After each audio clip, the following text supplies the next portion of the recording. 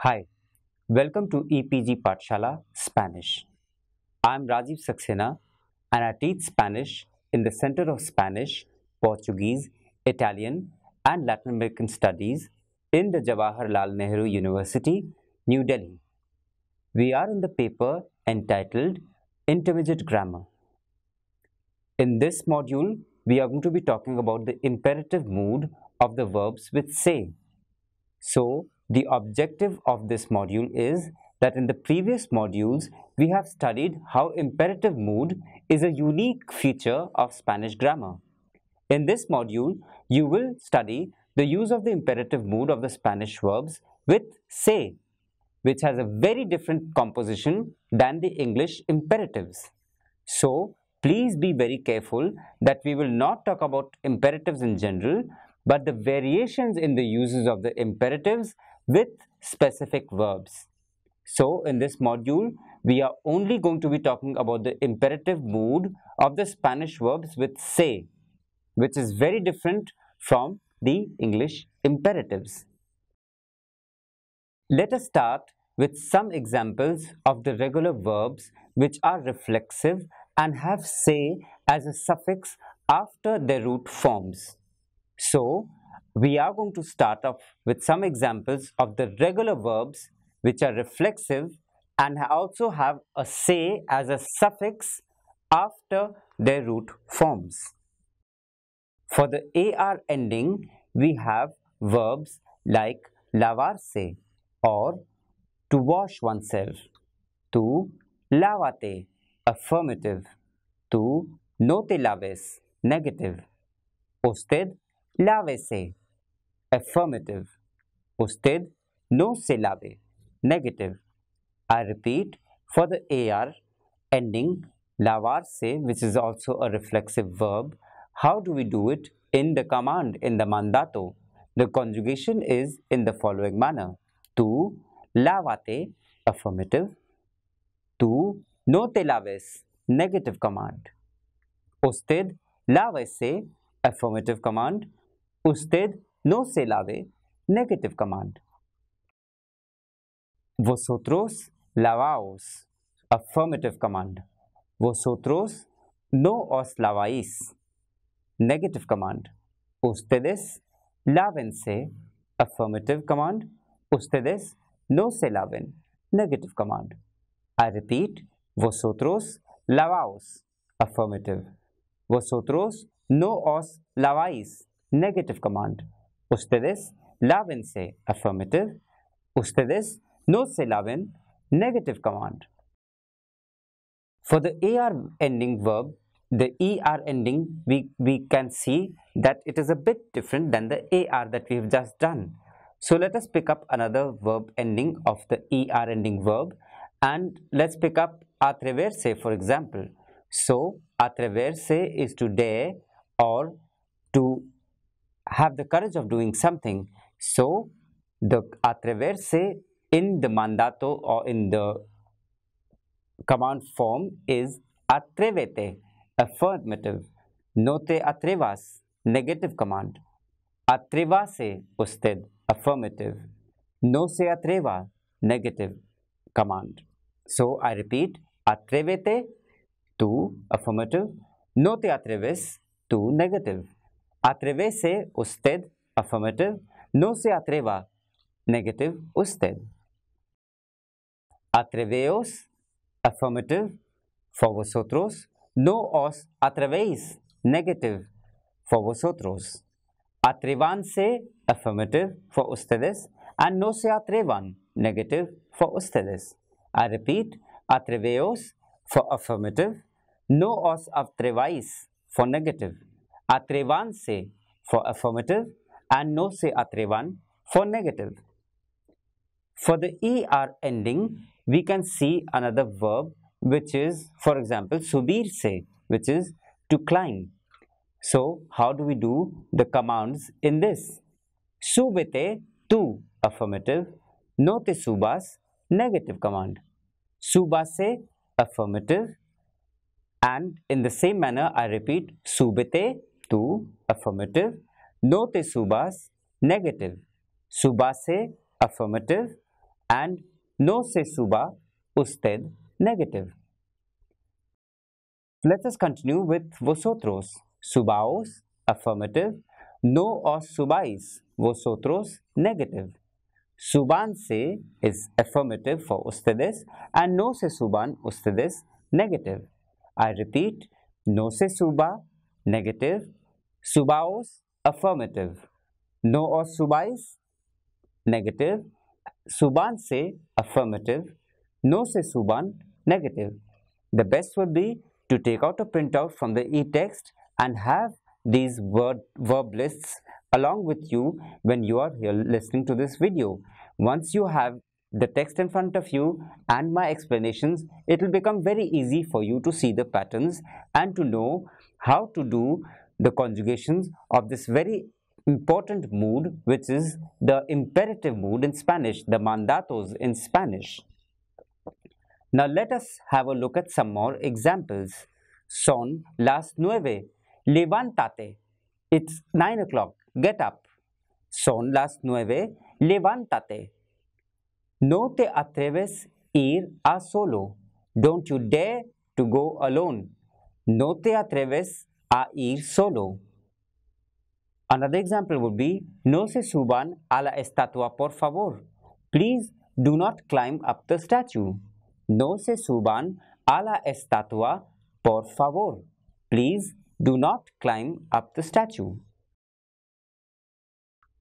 Now let us look at some irregular verbs with se. We have seen the regular verbs. So now let's talk about irregular verbs and how do they change with the se, the reflexive. So let us talk about vestirse. Here the E changes into I. Of vestirse, the E changes into I. And the following is the conjugation. Vistete, affirmative. No te vistas, negative. Vistase, affirmative. And no se vista, negative.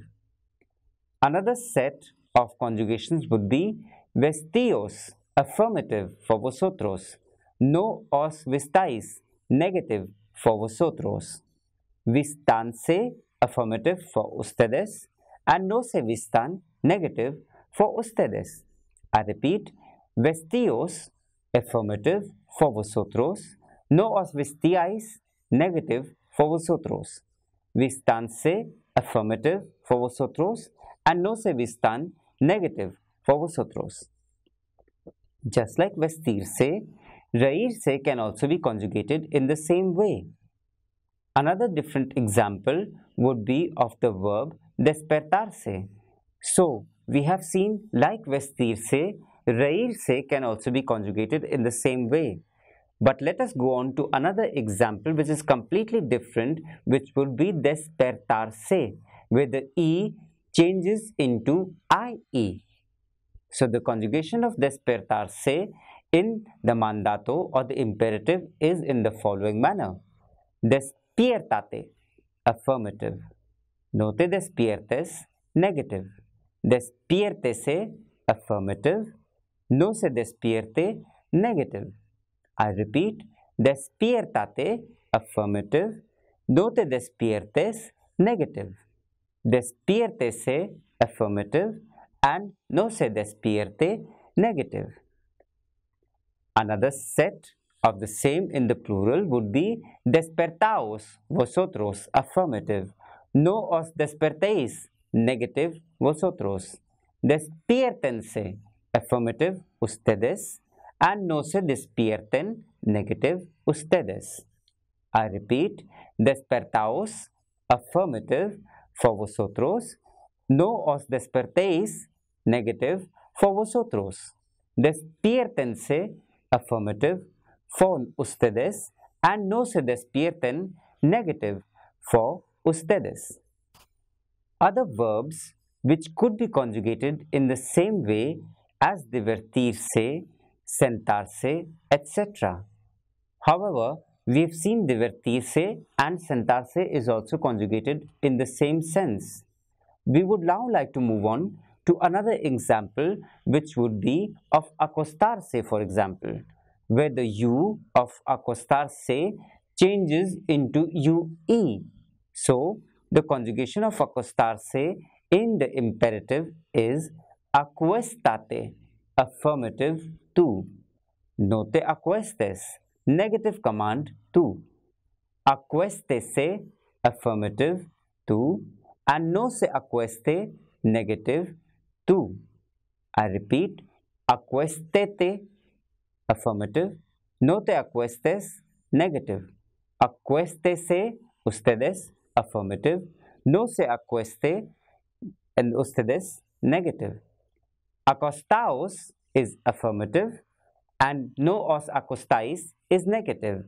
So, acostaos for vosotros, positive, and no os acostáis for vosotros, negative. What happens in the ustedes? In the ustedes, it becomes acuéstense, affirmative, and ustedes no se acuesten in the negative for ustedes. Just like acostarse, we can also conjugate dormirse. So once you learn the pattern of acostarse, you already know the pattern of dormirse also. It's as simple as that. So some of the other irregular verbs which we have to look into and see the pattern would be the following like example ponerse ponte for affirmative to no te pongas negative tú. Póngase affirmative usted and no se ponga negative usted. I repeat, ponte affirmative tú, no te pongas negative tú. Pónganse affirmative usted, no se ponga negative usted. Now, what happens when you're talking about this in the plural? In the plural, it becomes poneos affirmative for vosotros. No os pongáis, negative, vosotros. Pónganse, ustedes, affirmative. No se pongan, ustedes, negative. I repeat, poneos is affirmative, vosotros. No os pongáis, negative, vosotros. Pónganse, affirmative, ustedes, and no se pongan, affirmative, negative for ustedes. Another important verb which we use quite often and in commands also is a verb like irse. Vete, for example, is affirmative. Tu. No te vayas is negative. Tu. Vayase is affirmative for usted and no se vaya is negative for usted. I repeat, for irse, the conjugation in the mandatos or in the imperative is vete for affirmative to, no te vayas, negative to, vayase for affirmative usted, and no se vaya for negative usted. Idos is affirmative of ir in the plural which is vosotros and no os vayáis is negative vosotros. Váyanse is affirmative for ustedes and no se vayan is negative of ustedes. I repeat, idos is affirmative of vosotros and no os vayáis is negative of vosotros. Váyanse is affirmative of ustedes and no se vayan is negative of ustedes. How do we do the conjugation of the verb caerse in, in, in preterite? Sorry.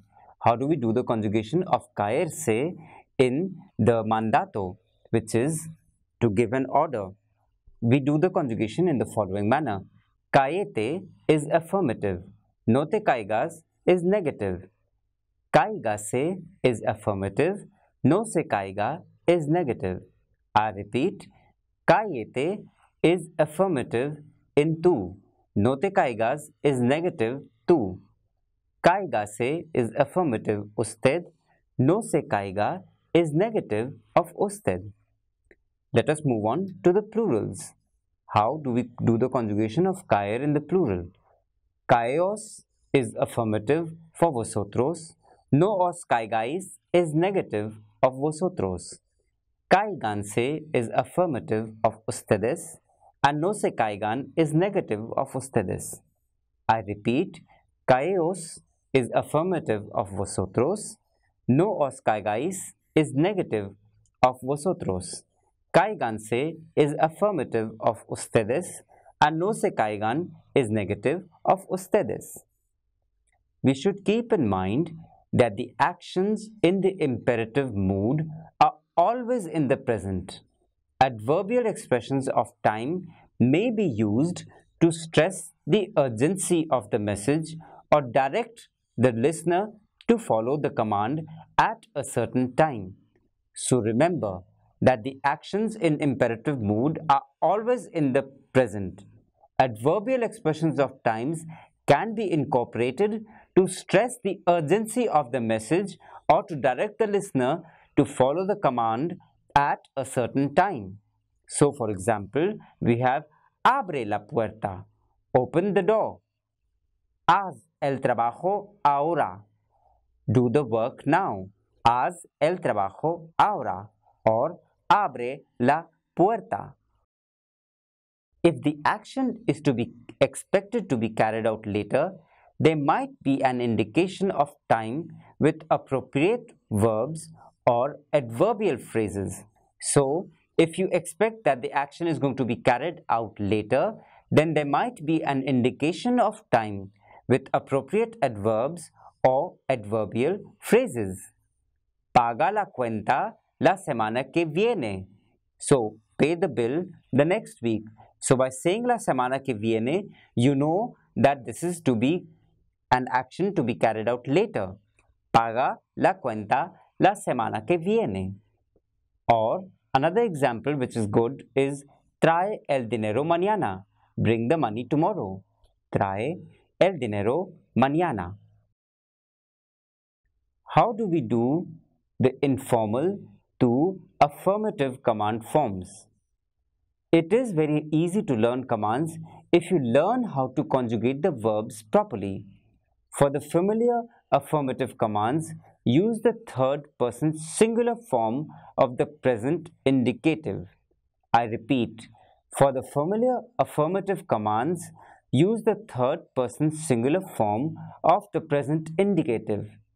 So, if we drop the infinitive endings AR, ER and IR from the radical and add the corresponding endings for L and Elia, it gives the conjugation for the imperative too. So, the trick that we are trying to teach you here is that for the familiar affirmative commands, use the third person singular form of the present indicative and drop the infinitive endings AR, ER and IR for the radical and add the corresponding ending for L and Elia. It gives the conjugation for the imperative to. For example, comprar, to buy, becomes compra. Aprender, to aprender or to learn becomes aprende. Escribir, to write becomes escribe. So it's very simple. How do we do it? Let us continue with more examples. Gritar, to yell becomes grita. Beber, to drink becomes bebe. Abrir, to open becomes abre. I repeat, gritar, to yell becomes grita. Beber, to drink becomes bebe. Abrir, to open becomes abre. So, once we see the pattern, it becomes very simple for us how to conjugate it. Again, let us move on to other examples so that you can learn how to conjugate the imperative mood in Spanish. Formar is to form. The conjugation is forma. Meter, to put in, is meter. So, we conjugate it as mete. Pedir, to ask for, becomes pide. I repeat, formar becomes forma. Meter becomes mete. And pedir becomes pide. In the same sense, we can now put these into sentences and use these verbs in the imperative. So we'll say, compra los regalos, buy the gifts, aprende las reglas, learn the rules, escribe la respuesta ahora, write the answer now. I repeat, compra los regalos, aprende las reglas and escribe la respuesta ahora. Compra las, los coches, buy the car, aprende las cosas, learn the things, and escribe la carta ahora, write the letter now. So we can see that it is very easy to do the conjugations in imperative. All you have to do is to use the third person singular. Compra los coches, aprende las cosas, escribe la carta ahora. In the two affirmative commands of ER and IR verbs, we have the same verb endings. So what do we do? We have to keep in mind the context. And we also have to keep in mind that exclamation marks may be used to indicate the speaker's urgency. So when you're writing in Spanish, you can use exclamation marks to indicate the urgency of the speaker in this scenario. The context and punctuation will help you distinguish the third person singular present indicative form. For example, a comma tells you that the speaker is addressing a person with imperative. For example, Iqbal, comma, trae la maleta. Iqbal, comma, bring the suitcase. Or vis-a-vis, -vis, Iqbal trae la maleta. Iqbal brings the suitcase. So, by putting the comma, we know that this is an imperative for Iqbal.